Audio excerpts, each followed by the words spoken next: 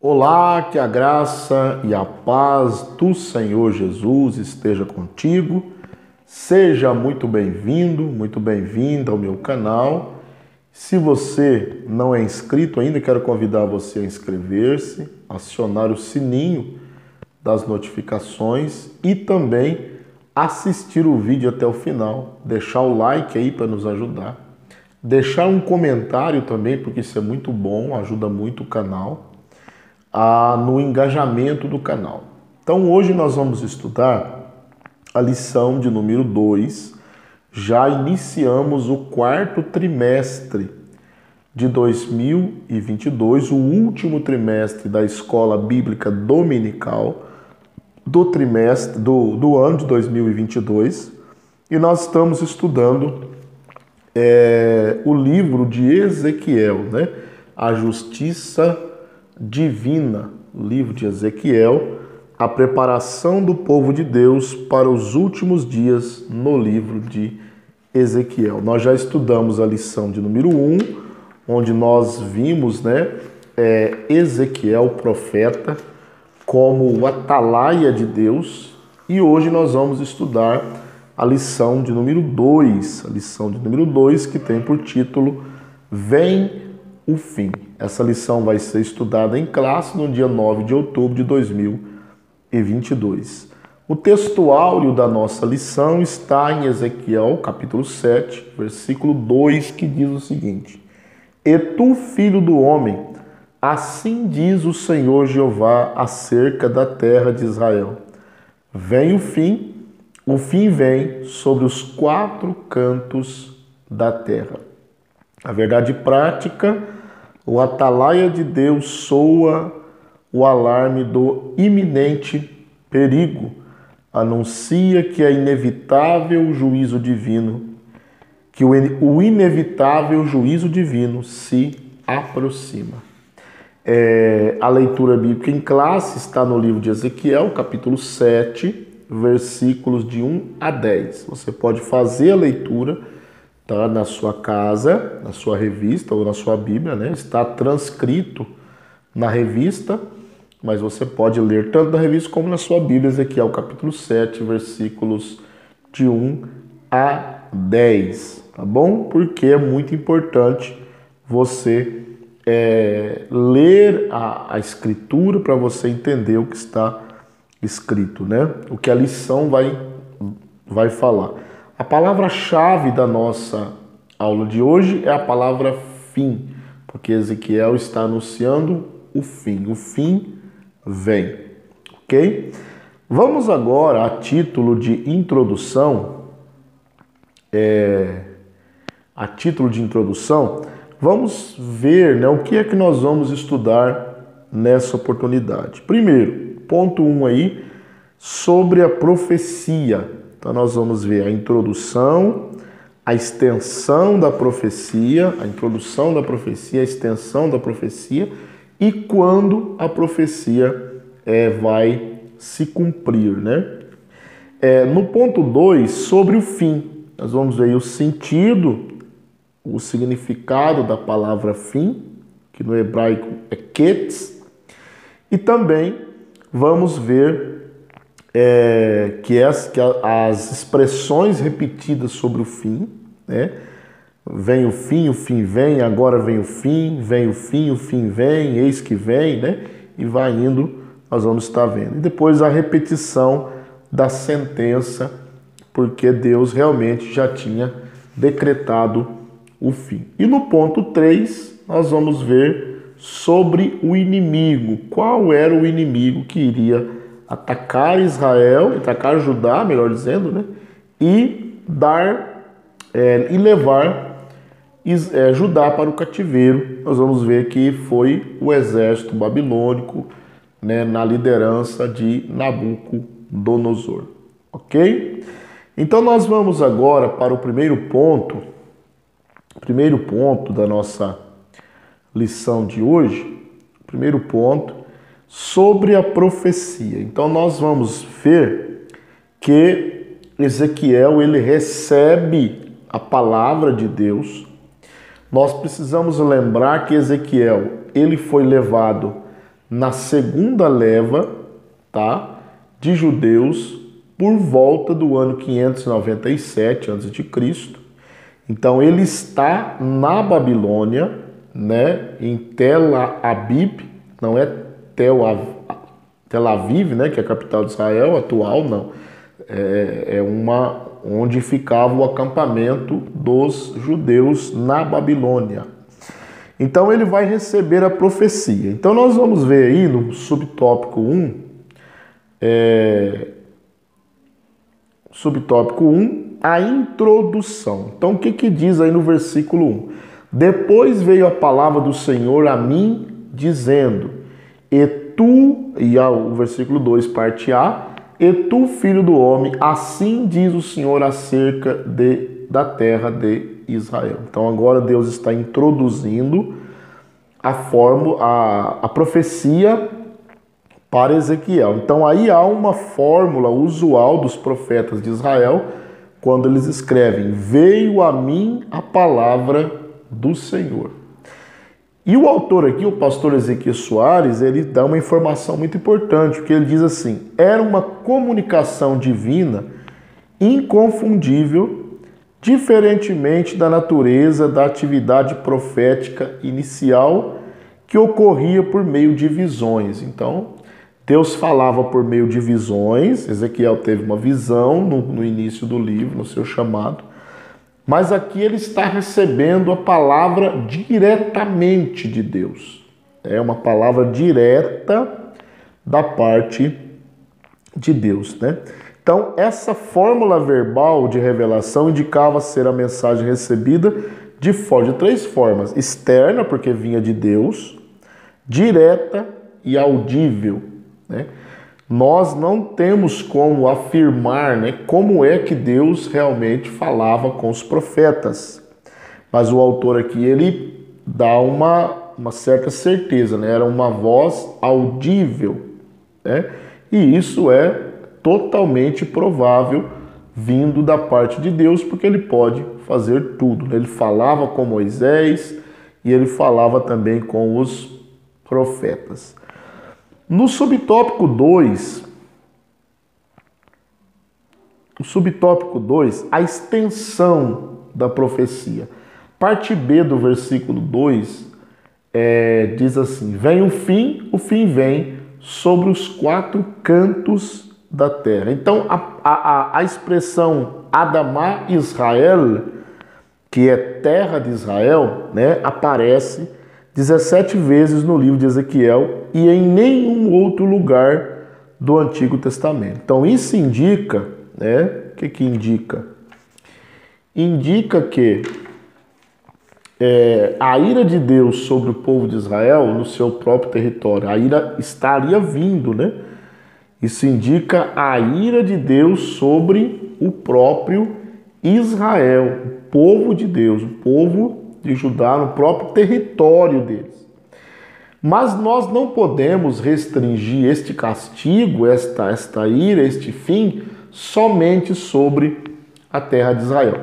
De imediato, a profecia era para os judeus, né, se referindo à destruição de Jerusalém, o fim ali se referindo à destruição de Jerusalém. Porém, Deus tem um plano para julgar toda a terra. Né? Então esta profecia ela não ficaria restrita a Adamá Israel, ou seja, a terra de Israel, mas ela estenderia para todo mundo.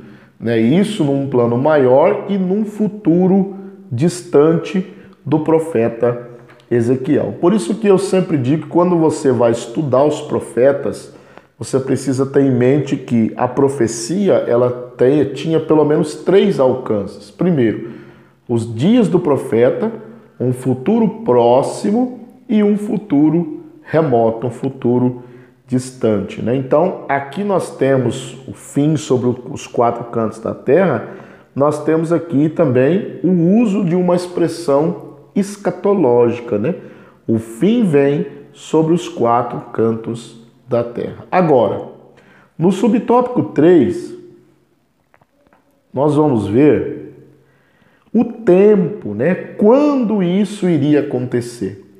Voltando para a leitura bíblica em classe, o, o versículo 3, né, na parte A, diz: Agora vem o fim sobre ti, porque enviarei sobre ti a minha ira e te julgarei conforme os teus caminhos. Então, agora. Né? Então, o juízo era próximo, né? O juízo era próximo. Então, o agora aí no versículo 3 é o hebraico atá, né, que ressalta a iminência do fim.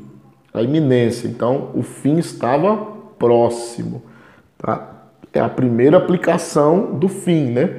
Depois, num, num âmbito maior, escatológico, para o fim dos tempos. Mas para Israel o fim era agora, ou seja, nos dias ali, né, nos anos que viria bem próximo ali do profeta Ezequiel. No ano de 586 foi a última vez antes de Cristo que o exército babilônio invadiu Jerusalém. E aí ele foi, foram levados o restante, né, por parte dos judeus, alguns ficaram os mais pobres, mas a cidade foi destruída, o templo foi destruído e aí o fim chegou. Então, quando aí era agora, né? Bem, um julgamento era iminente. Então, esta urgência é também demonstrada pela construção gramatical do verbo hebraico, né? É o verbo hebraico ba, que é vir, né? Que aparece dez vezes nesse curto trecho da profecia. Em quatro delas, a ação está em andamento, pois o particípio hebraico indica uma ação contínua. Então, o particípio hebraico ele quer dizer algo contínuo e ininterrupto. Né? Então nós temos aí, eis que um só mal vem, versículo 5, eis que vem, versículo 6b, vem a tua sentença, versículo 7, parte A, eis aqui o dia, eis que vem, versículo 10. Então temos aí é, seis expressões, né? Ou melhor, é, temos aí quatro expressões, né? É, quatro das expressões é, é, indicam uma ação em andamento. Quer dizer, Deus decretou e o processo no fim estava em andamento. É isso que a Bíblia está dizendo. Estava em andamento até chegar o tempo né, que o fim realmente viria sobre Adamá Israel. Ok? Então nós terminamos esse ponto aqui. Se você tem algum comentário aqui, deixe aqui nos comentários. Nós vamos interagir com você, vamos aprender juntos e você vai estar me ajudando. Se você não deixou o like ainda, deixe o like aí para fortalecer. Compartilhe este canal nas suas redes sociais, né? Para que tudo corra bem aqui no nosso canal e que ele cresça cada vez mais para a glória de Deus. Então, ponto 2. O ponto 2 tem por título Sobre o Fim. Então, nós vamos estudar agora sobre o fim. O fim vem. Nós já falamos alguma coisa sobre o fim, né? Que ele tinha um alcance é, bem próximo ali sobre a terra de Israel porém também o alcance escatológico. Né? Então, aí no subtópico de número 1, um,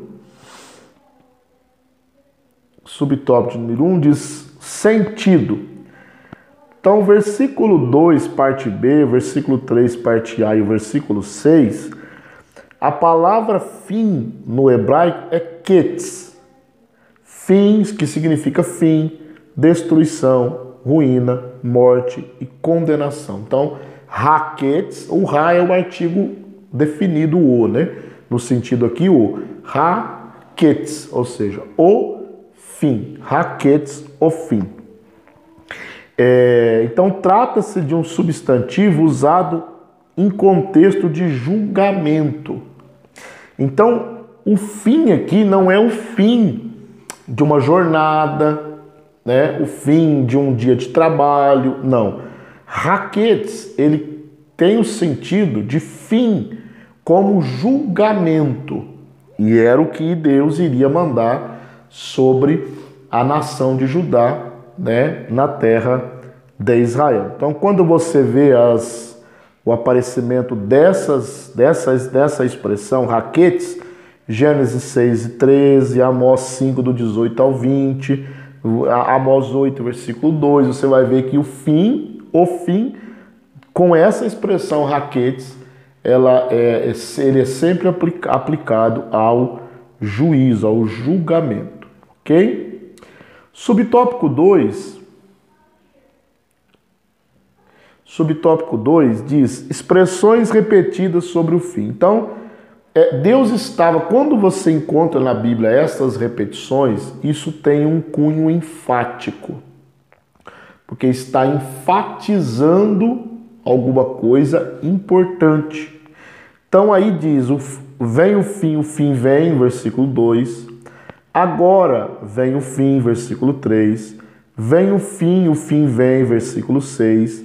Eis que vem, veio a tua ruína, versículo 10. Então, isso chama a atenção do leitor, do leitor é, é, atento, né, logicamente. Isso chama atenção. Por quê? Porque a repetição da, das expressões, mesmo com às vezes com outras palavras, mas é, são sinônimos, né?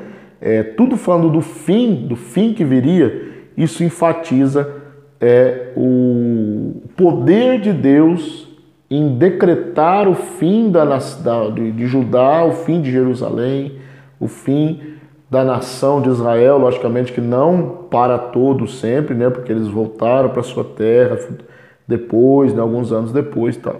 Certo? Então vamos lá, três, três, é, a repetição das sentenças. Estamos aí, é, faz no mesmo linha do, do subtópico 2, né? Então os verbos 4, os versículos 4 e 9 estão repetidos. Olha que coisa interessante, né? Se você ler o 4, e não te pouparei o meu olho, nem terei piedade de ti, mas porei sobre ti os teus caminhos, e as tuas abominações estarão no meio de ti, sabereis que eu sou o Senhor. O versículo 9, ele é é, ele é repetitivo, né? Não te pouparei o meu olho, nem terei piedade de ti, conforme os teus caminhos, assim congregarei sobre ti. E as tuas abominações estarão no meio de ti, sabereis que eu, Senhor, castigo. Né? Então, assim, ele é bem semelhante, não, não igualzinho, né?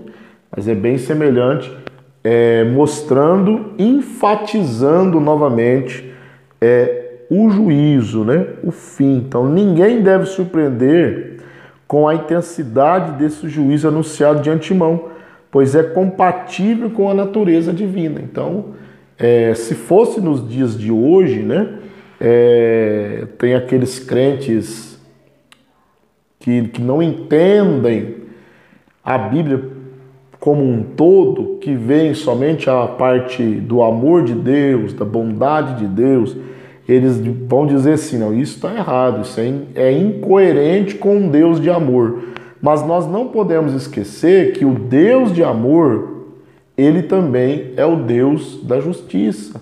E a justiça, ela às vezes requer o juízo, o julgamento. Né? Quando um juiz vai julgar um caso, um, um, uma pessoa, ele vai emitir uma sentença, e aquilo ali é um julgamento.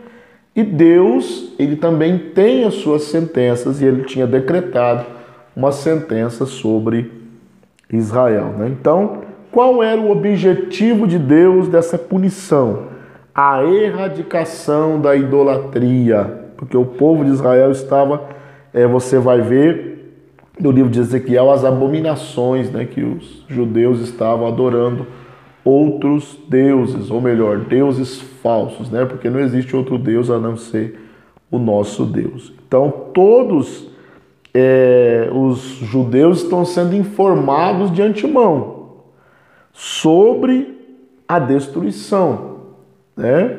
E está, e Deus está dando a eles o, a oportunidade do arrependimento.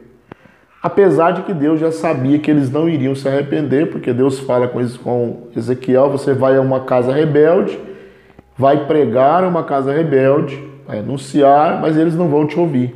Deus já sabia. Mas mesmo assim, é, era oferecido ali o, é, o arrependimento. se eles quisessem, eles seriam perdoados, né? Digamos assim.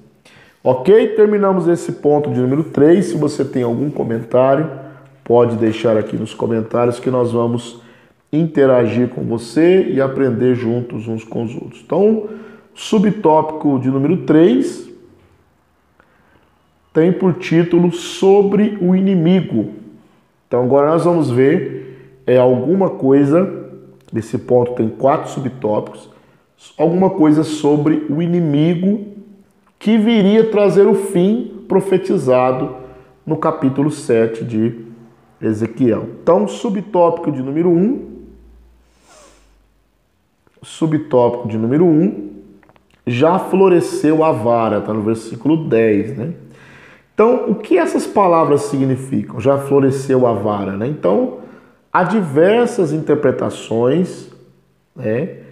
É, mas das três principais interpretações, a mais aceita pelos estudiosos é que essa vara é Nabucodonosor, né? o rei Nabucodonosor, que Deus levantaria é, como uma vara, como um chicote, para chicotear Jerusalém, né? para chicotear a nação de Judá. Chicotear no sentido de castigo, é castigo pelo pecado que eles estavam cometendo, principalmente o pecado da idolatria. Né? Então, é, uma coisa interessante é que Deus ele usa, né, às vezes, nações ímpias, no caso aqui diz da Babilônia, para julgar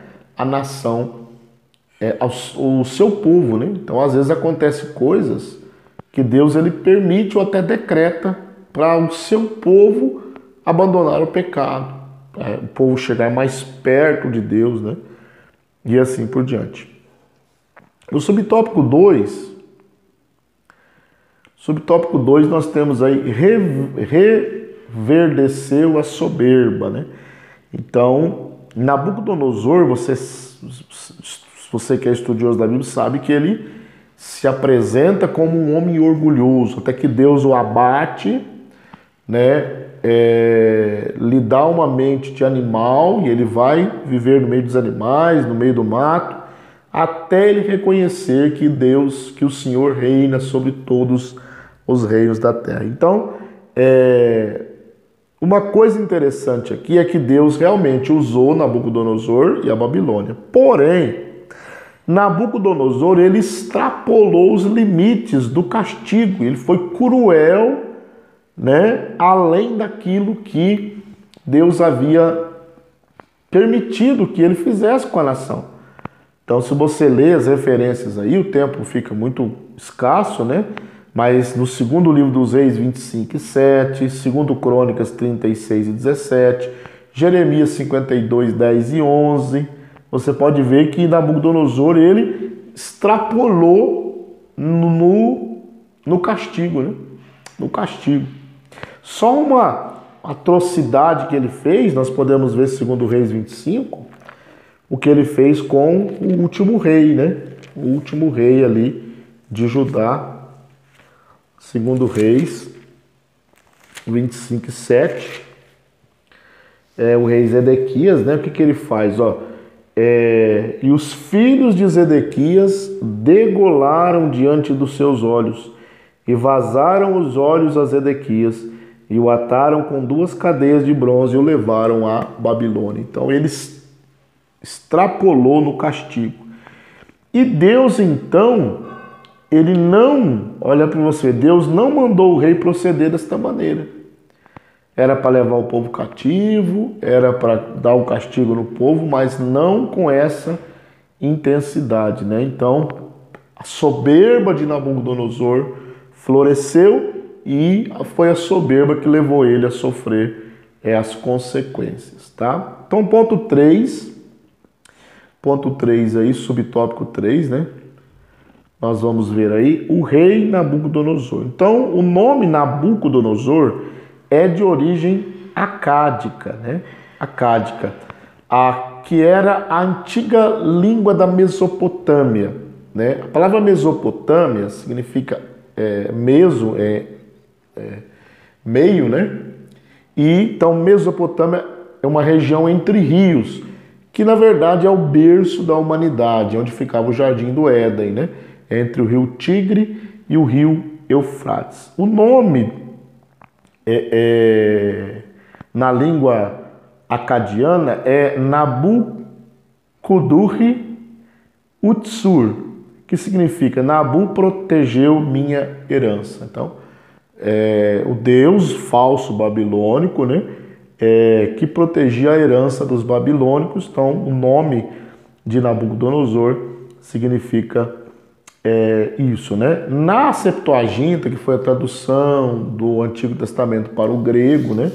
É, segundo Flávio Joséfo, o nome de Nabucodonosor era Nabucodonosor, né? Nabucodonosor. O CH ele tem som de R, né? Nabucodonosor. Então ele era filho de Nabopolassar, que reinou 21 anos na Babilônia, entre o ano 625 a 605. Então Nabucodonosor reinou 43 anos. O, seis, o ano 605, o início do seu reinado, ele já invadiu Jerusalém pela primeira vez, quando ele levou Daniel e os seus amigos para a Babilônia ok? Então, e o último subtópico aí, último subtópico, a Babilônia. Então, o nome Babilônia também é de origem acádica, né? Babi e Li, que significa portão de Deus. Né? O Antigo Testamento hebraico usa Babel ou Bavel, né? É, se transfigura como B, mas no original é, tem som de V, né? É o Vet Bavel. E a Septuaginta usa a forma grega Babilon, que é Babilônia. E Babilônia veio a se tornar sinônimo de mal, sinônimo de trevas, sinônimo de pecado, sinônimo de rebelião contra Deus, né? Isso você vê lá em Apocalipse, a grande Babilônia, como rebelde contra Deus. Ok? Terminamos esse terceiro ponto, mas aí você ainda pode é, fazer o seu comentário aí, deixar o seu comentário aí na, na área de comentários, né? E nós vamos responder o seu comentário, deixar um coraçãozinho, deixar um joinha aí, né? Em nome de Jesus. Então vamos fazer uma recapitulação bem rápida aqui daquilo que a gente aprendeu, né? Nós vimos algo sobre a profecia de Ezequiel sobre o fim. Vimos algo sobre a profecia mesmo, né? O teor dela sobre o fim, o que é esse fim. Vimos que era um fim imediato, né? É, raquetes, o fim, sempre com o sentido de, de julgamento, de juízo, tá? Vimos que a sentença foi repetida, mostrando que Deus tinha pressa em agir, né? E depois nós vimos o inimigo, no ponto 3, sobre o inimigo que viria e que cumpriria essa profecia na terra e na nação de Judá. Ok? Espero que essa aula tenha é, servido de bênção para a sua vida e eu te espero na semana que vem, na lição 3, que nós vamos aprender as abominações do templo. Tá bom? Que Deus em Cristo te abençoe e até a próxima aula.